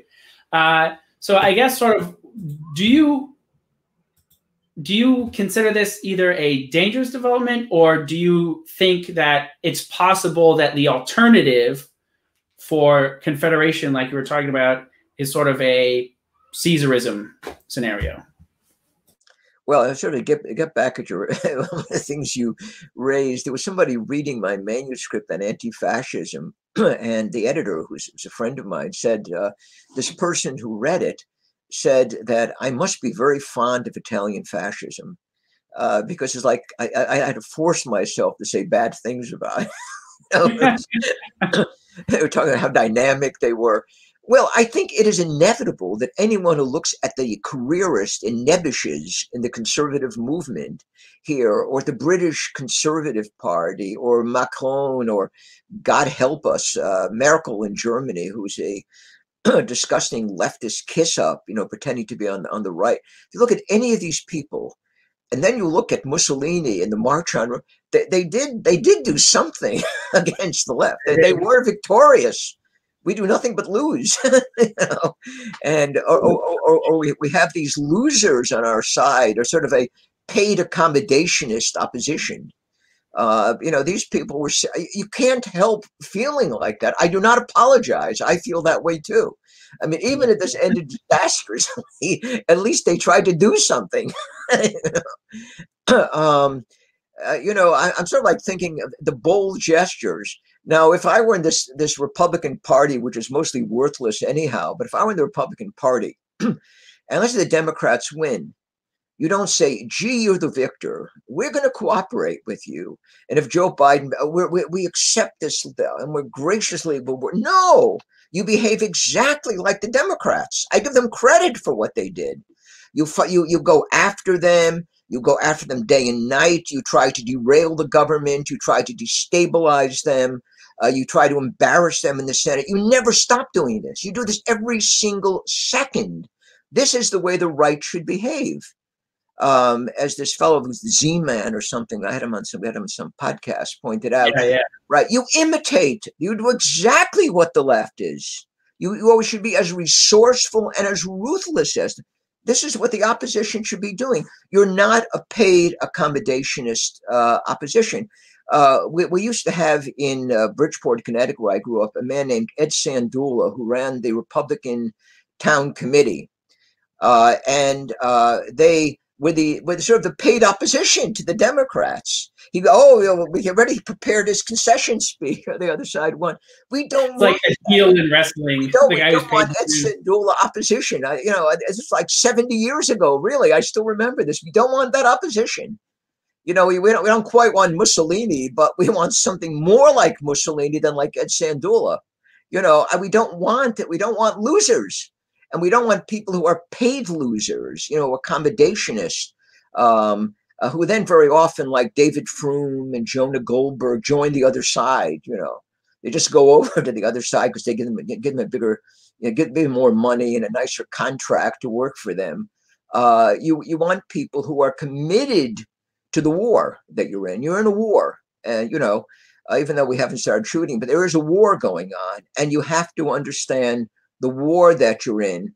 Uh, and you do, there, there's one lady on Fox News. You ever seen Martha MacCallum, And she is uh, Dana Perino. These sort of women who sort of like lean a little bit left, and they drool with delight if they have some I don't know black nationalist on there or something like no, you don't invite these. They're, they're your enemies. You don't invite them onto your program. The ones who are their enemies are people like me, you know, who tell them you should be fighting a war here. We are the enemies. You know, it's it's not your real enemies. So uh, you know, you can't help but admire the revolutionary nationalist of the night. I mean, I can't. Uh, you know, I try to hold it back when I write. but in the early days, this looks, you know, this looks this looks promising what a virulent force for yeah yeah I, I guess that's the um that's fundamentally the thing is that the uh conservatives they sort of believe still the liberal notion that we're in a we'll have a, a we'll engage on the battlefield of ideas we'll have this out in debate and uh, you know the, the best ideas always win whereas the left have embraced the Schmitt idea of friend enemy distinction. right. that's the big difference. Like if you if you look at it, that's that's basically the big divide. Is and and you know of course you know they hate Schmitt and whatever, but but they recognize this fundamental point that they have enemies and they're trying to destroy them. Whereas the conservatives, you know, the, the erstwhile conservatives and uh, classical liberals and whatnot, they're they're like, no, we'll we'll have this out. We'll we'll we'll act like we're you know in some cafe in Paris in the uh, post revolution, you know, talking about the the Girondins versus the you know the Jacobins and arguing over the finer points of like liberal theory and how high this tax rate should be and you know so but the left they really understand the friend enemy distinction. well, I, I, I go beyond that. I think the the conservatives are not as good, you know, as the. Uh, uh, the Girondists who were wiped out by the Jacobins. They, they're, they're, they're, what they've done is they fight a ruthless war against the right. They shoot everybody in their own trench, you know, in order to be able to surrender to the other side or make, make deals with the other side. They're even worse than that.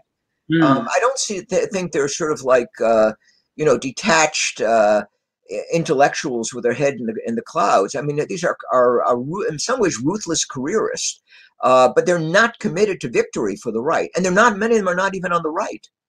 Uh, so, you know, the, the, with the move, I, I, always compare them to the uh, Vichy France or something, you know, to the uh, collaborators, the German collaborators in World War II. I mean, th- th- this is the closest they come, you know, to being any kind of op- opposition. Um, and we do, you know, you don't. These people are a major part of the problem uh, that you know we have not be able, we have not been able to generate a serious, uh, and they've gone along with most of the of the serious things that the that the left has done, right? I mean, they've uh, the immigration reform of, of, of 1965 was great. Uh, even the uh, the Voting Rights Act in the United States had the effect of radicalizing the country um, by by mobilizing a, by then radical black vote, and you know it was it was it became triple it was it was became triple of what it had been before, in areas of the country were forced to generate black votes in order to show they were not being prejudiced. And this is not a mm-hmm. racial attitude in my, you know, uh, I always tell people I would have been happy if we never passed the 19th Amendment and women weren't voting because this too has radicalized the country. And we have to sort of see where we're coming from. Um, and I'm neither I'm neither against white against women. Certainly, I'm married to one. I'm not against blacks. Or the, but you of women. Right, you cannot, right, you cannot radicalize the electorate. This is what you get. Uh, yeah. So, oh, I was just saying. I think that's a very very good point. I was, uh, I think it was actually in, it might have been in the American Conservative, but there was this thing. There was an article talking about how are we in. Um, it says like is is America like in uh, Spain before the Civil War. And there was this line, uh, it was a quote in it, and it was this guy who was at this reporter who was asking a guy in Basque territory, uh, What do you think about Franco? And then his response was, Franco, you know, the government's Franco's concern. I just fish. Like you got that from me. That's my line. the person quoting me. okay. okay. See, yeah, quoting. I don't even know it. Yeah. Yeah. yeah. It was told to me. It was told to me by uh, uh, uh, by, um, by, by, by by somebody who had visited, who had, who had uh, Thomas Molnar, who had visited Spain at the time, and this fisherman says, you know, I don't care what the government does. I'm just a fisherman. You can do whatever you want. But but the government was not particularly oppressive. It didn't affect your life very much. So I mean, that's uh, that's fine. Uh, yeah, the comparison to the Spanish Civil War overlooks the fact that we have nothing like the Spanish nationalists. Uh, you know, we're going to fight the left. The ours would just run to capitulate and then get them to fight the people to on their right. You know, with a real danger. No, that's true. And there's that. That sort of reminds me of another article I read in uh, First Things recently. I think it was called like liberal suicide or suicide of liberalism. And it was talking about this very phenomenon in the, I believe it was the 1907 Russian Revolution, where you had the liberals are trying to, or the the uh, the country's going through all this turmoil, and the czarist regime is like trying to make concessions. They they went to the liberals and they're like, look, we'll grant you all your sort of economic concessions and whatnot. Just mm-hmm. please sort of get on board with the program. And their attitude was like, no, burn it all down yes, there. So that it, it always seems that they're they're quite happy. Like they they oppose the left in theory, but they're very happy to just sort of burn everything down on principle. I suppose it's, it's weird. But anyways, uh, so I got a couple, just a couple more questions for you, Dr. Gottlieb. Again, thank you very much for your time. Uh, says Orwell wrote to Malcolm Muggeridge that the real divide in society is between authoritarianism and libertarianism. Do you think this statement was correct? No, I think the real division is between right and left. Uh, yeah. Yeah. uh, I, you, you, you, you quoted Carl Schmitt, and as you know, I'm a biographer of Carl Schmitt. And uh, while I don't entirely accept his ideas, I think he's a profound political thinker. He's the most profound political thinker of the 20th century. Um, uh, but you know, I I I, I don't think libertarians and authoritarians. Also, libertarians never go anywhere. You know. Yeah. they always forget. you know, it's, it's it's sort of like saying it's it's between. Uh, uh, the left and butterfly butterfly collectors or something. I mean, they're just they're just just not an important political force. No, I would agree. All right, next uh, question. I only got a few more. So it says, How did the Frankfurt School affect the understanding of fascism in the West? Well, I think in the early days, as I this is you know uh, the, the book, long book I just finished on anti-fascism. Uh, I think I think I think in the, in the, in the early days they had profound influence, um, mostly through the, their work, the authoritarian personality that came out in 1950, which talks about the fascist personality and pseudo Democrats who are really fascists under the skin, how America is now the major breeding ground of fact. This has profound influence. Uh, but one of the points I make in the book is we've gone well beyond the Frankfurt School um, in the way we have pushed what used to be called cultural Marxism. Uh, contemporary political correctness is much more extreme. For instance, um, the uh, the Frankfurt School uh, certainly the first generation, people like Adorno, Horkheim, Marcuse, Erich Fromm, and others, uh, would have recognized that homosexuality is deviant behavior. That's what that's what they said. um, mm. They never would have supported gay marriage or gay liberation or anything like that. They also were not against, uh, you know, mommies and daddies and sort of like traditional families. They just wanted, I suppose one might say, sort of first wave feminism or, you know, the early feminist movement in America, like in the 1960s. Uh, they, were they, they, they, many of them were, in fact, extreme socialist on economics. But on cultural and social issues, as I say, they were probably somewhere to the right of the uh, of Fox News and the Republican Party right now. I'm not joking. Uh, by the way, as you know, Herbert Marcuse was my teacher, and I've written widely on the Frankfurt School. Um, and they were not as radical as, as you know, uh, contemporary cultural politics have become. mm. Now, next question uh, da, da, da, was okay. So this is a little a little bit of local flavor in here. The last two questions are sort of local questions. So, was the apartheid government seen as fascistic, and if not, how was it different? No, it, it was not. It was not fascistic. It was just engaged in a holding action. It was. It was sort of a very mild uh, right wing authoritarian government. Um, uh, you know, and it had it had a uh, an impartial judicial system. Uh, I, I was never a violent enemy of the apartheid system. I, I think I think uh, my major objection to it was when they had a chance, they should have divided up the country. Yeah. Uh, you know, and uh, they should have also allied themselves with friendly black uh, groups. Certainly, the Zulus would have been on their side. so they did not take opportunities that presented itself. Um, and uh, particularly in the apartheid system of Malan in the beginning, they were rather rigid. um, but they, they certainly were not running a fascist government.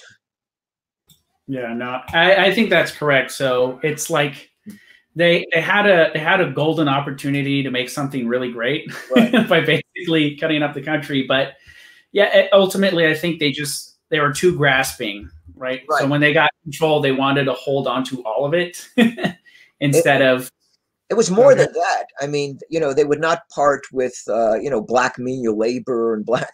They wanted yeah. them there to work for them. Yeah, exactly. was not, you know, th- th- this could not go on forever. yeah, no, they they wanted their cake and to eat it too. That was that was the problem. So it was it was grasping. They wanted to hold on to everything, and they wanted to exploit the the cheap labor without sort of having to deal with the social ramifications. Right. So, yeah, I think it would have been a great opportunity, and I think they sort of did a lot to sort of marginalize and make a lot of bad will with uh, you know the the people that they rub shoulders with. Like like I said, my my in laws are uh, are uh, colored, but um, I think there's that was a big big big missed opportunity, and the National Party could have done a lot to make this you know what is now South Africa a really nice place to be by sort of encouraging sort of local rule and not trying to hold on to everything and you know making this mishmash. But they, they could have yeah, made, you know, they could have made, made, an alliance with the colored um, against the Xhosas, who were their enemies. Uh, you know, let them stay in. You know, they're going to be on your side anyhow. I mean, there were any number of opportunities which they missed. Uh, this doesn't make them fascists. It just means they missed opportunities. yeah, no, definitely. Uh, so I guess the last question I have for you, Dr. Gottfried, is can uh, this was written? Can Dr. Gottfried commit on the? All right, I'm going to try Afrikaans now. Ready? Okay. Can Dr. Gottfried commit on the Ossewabrandwag movement in South Africa during the Second World War? Yeah, uh, some of these people did try to make an alliance with uh, with Nazi Germany. Uh, but it was I don't think it was really based on ideology so much as hating the Brits. Uh, you know, some some of these people did remember the Boer War, and the British treated them horribly. They put these people, they put uh, Afrikaners in concentration camps. They killed many of them. Um, you know, and they just invaded their their territory. Uh, and although there were later attempts, one might say, to uh, to make peace, and, and there were people like Smuts who, even during the First World War, I think supported the British. Um, most of the Afrikaners did not like the British. You know, in World War One, they supported most of them supported the Germans, um, mm-hmm. and uh, uh, some of this lasted into World War Two. And I think there is an attempt made, you know, to use the war again, to, to use the German war against England again in the Second World War um, to drive the British out. um, I, I, I think one can one can exaggerate the ideological component. um, uh, there were people like all over the place who were willing, you know, to do things like that, like uh, you know, Egyptian nationalists. You found them all over the place. And you say, well, they were really Nazis. No, they were not. They were making alliances.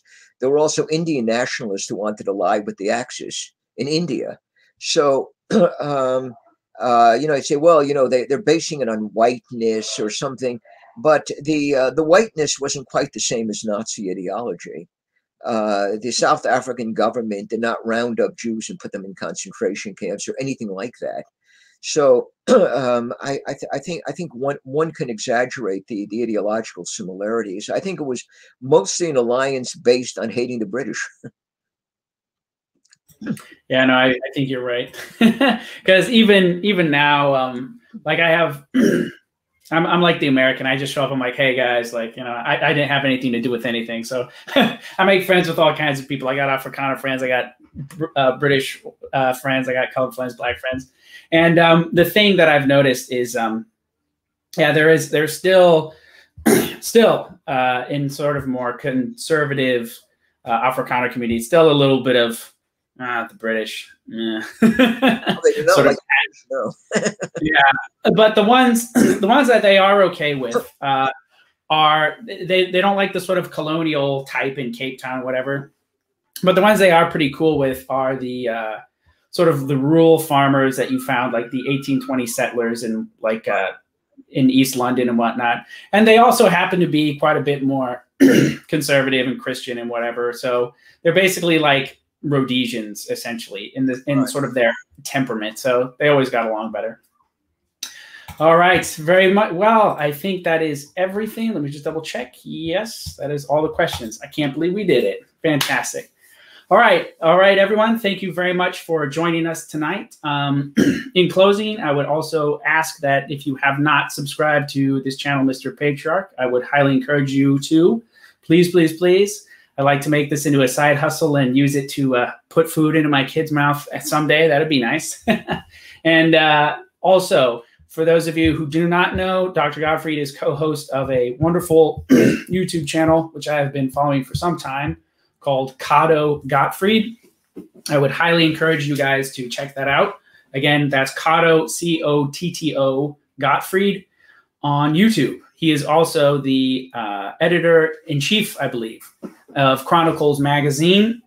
they have a great website with tons of articles up there for some like real non Con Inc rightist, real conservative sort of material. Definitely check out Chronicles online or subscribe to a subscription.